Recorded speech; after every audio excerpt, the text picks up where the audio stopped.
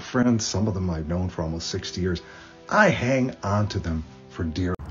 Thank you, Mr. Rojstaczer, for this wonderful message on why we should treasure our friends and family.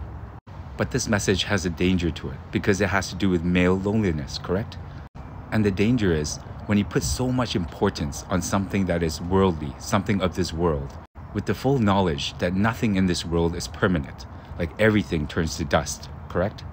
That is where fear of loss arrives. When you attach your sense of happiness and completion to people or even things, you are setting yourself up for fear, and ultimately, when you lose it, loneliness. So, yes, honor and love your friends and family. In fact, honor and love everything around you. But don't hang on to anything for dear life. Because nothing is permanent in this world. And when it ends, it's on to the next level.